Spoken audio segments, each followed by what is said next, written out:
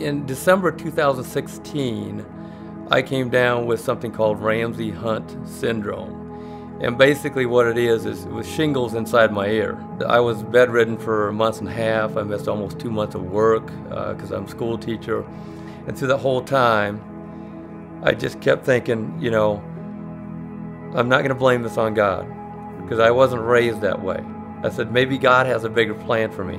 And it was so bad that you know, there's times I just wanted to give up. I'm like, this, this is just a horrible condition, a very rare condition that I have that the doctors don't have answers for. And so I've kind of turned in the direction of, you know what, I'm going to beat this, I'm going to get over it, and it's going to be God that's going to heal me.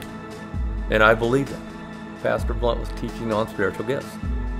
He went through different passages uh, in the Bible about knowing your spiritual gifts, being led by the Holy Spirit. You, you got to find it, you got to use that.